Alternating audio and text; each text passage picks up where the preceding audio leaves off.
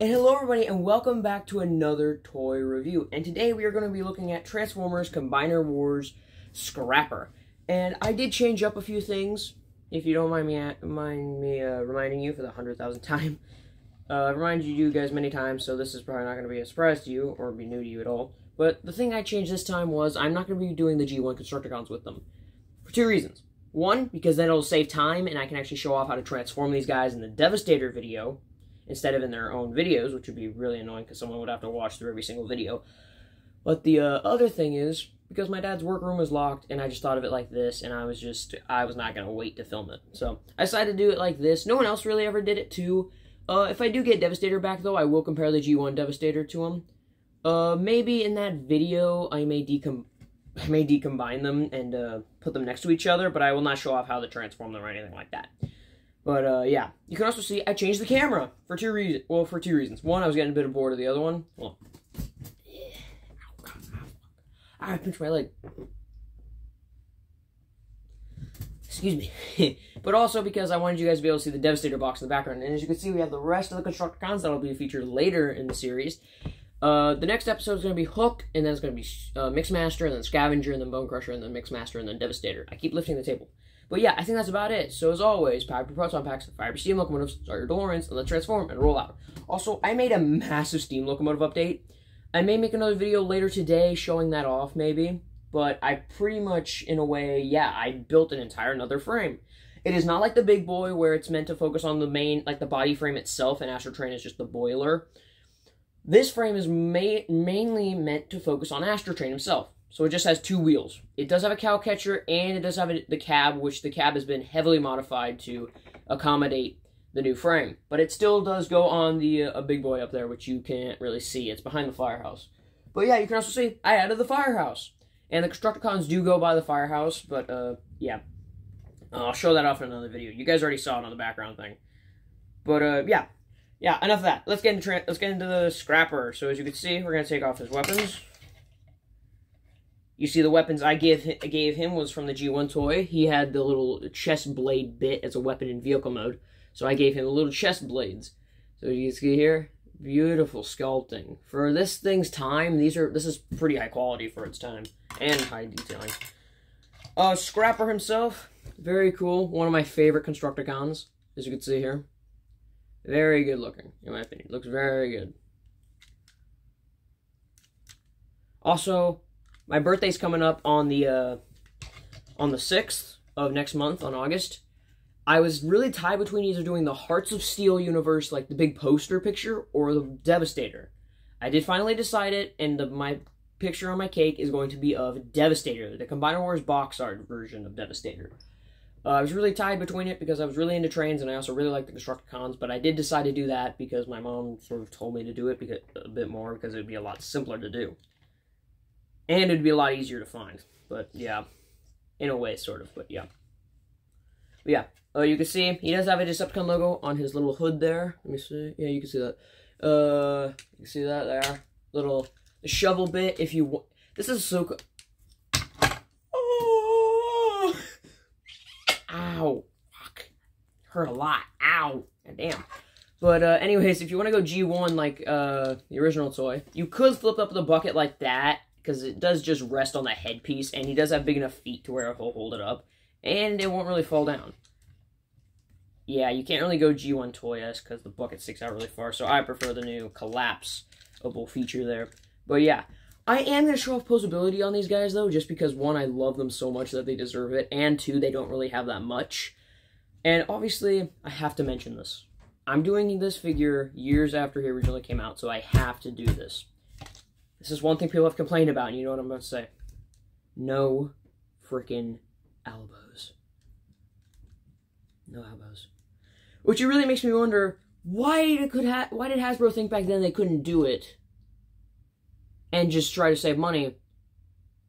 When Takara is over here able to do stuff like that and still have a lot of money. So that really just says that Hasbro back then was a cheap was were cheapskates.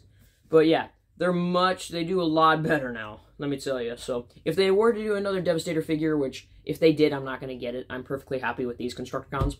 But if they were to do another Devastator figure, that's the, definitely the one thing they really got to fix, is the elbows. There is an upgrade kit for it. I'm not going to get it. Maybe. I don't know.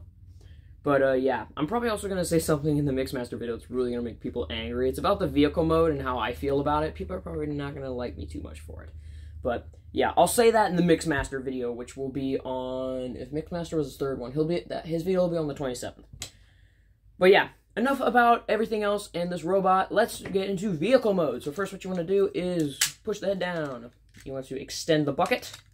You want to take the arms, flip them down. Oh yeah, uh, other possibility, he has leg movement, knees, and ankle movement as well.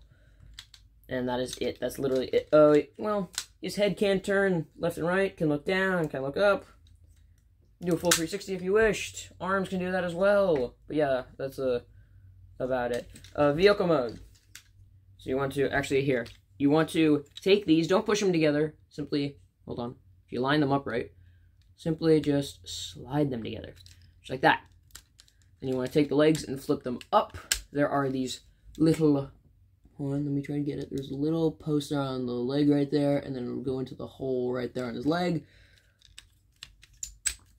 And then you simply want to take this and you want to slot these back little bits here into his his butt, his asshole.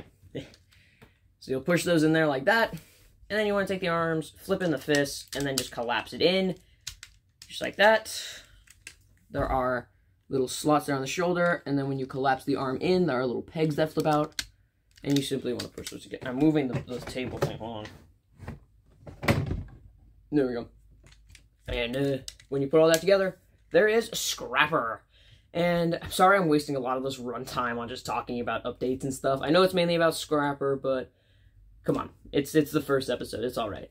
But uh, yeah, you can see here is Scrapper. You can see he's just a cool little payloader, and I really like it. There's definitely an early learning center about it. Uh, reference to Thews Awesome Transformer reviews. Love that guy. But yeah, as you can see, very cool. I do like how the big the bucket is because it makes more sense at this scale because then because the one uh, construction vehicles are supposed to be big, so it makes more sense for them to be this big. And two, if you really wanted someone to, they could easily just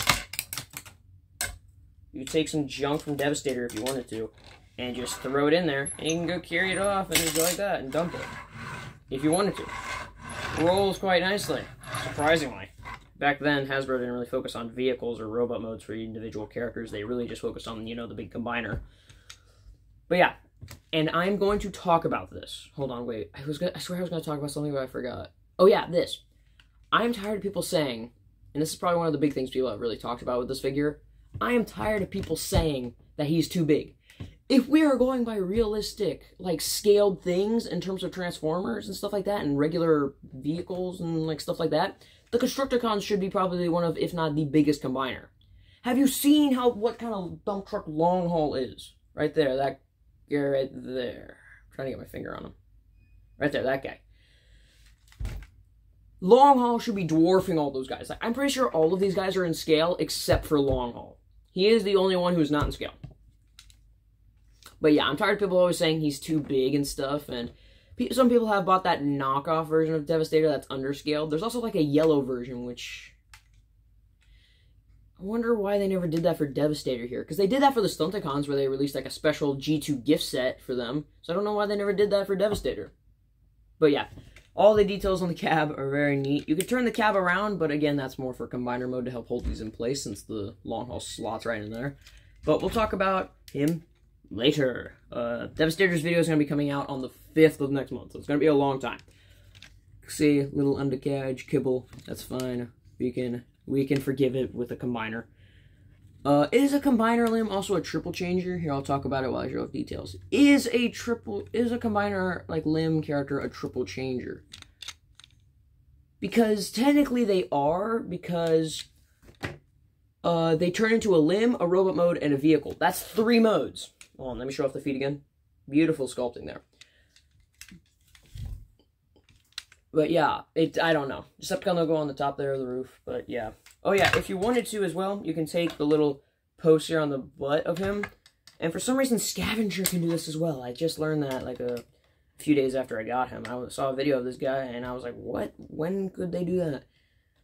And you can see if you're a G1 fan at heart like myself, you can put him like this. Whee!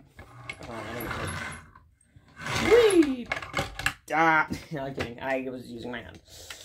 But yeah, if you wanted to give him wings, he could, you could just simply flip up the bucket and you could go weep. But yeah, weep. But, uh, but yeah. Anyways, that's pretty cool looking though. I do like that. Very nice that they did that. I'm surprised. The weird thing is, long haul, uh, yeah, long haul, scrapper, and scavenger are the only ones who can hold weapons. Mixmaster, Hook, and Bone Crusher are completely defenseless, as far as I know. I've seen every video on these guys. I've never seen in one video, hold on. I've never seen in one video uh, someone put weapons on Hook, Mixmaster, and Bone Crusher. It's always uh, ever been only Scavenger, Scrapper, and uh, Long Haul. I used to think it was only a Scrapper and Long Haul, but then I learned Scavenger later, and I was like, what, what was that thing? Bucket does get a bit scraped up there on the bottom there, sadly, but that's just how it's going to be. But yeah, Beautiful sculpting on him. See right there. Beautiful sculpting. We're very ahead of its time. But, uh, yeah. Oh, yeah, one thing I didn't show off in the robot mode. Here, I'll show that off in a minute. Because now we are going to get to the outro. But, yeah. Overall, sorry. Joking around with lava. Ugh. But yeah, overall, uh, Scrapper is a very cool character. And he's definitely, in my opinion, the leader.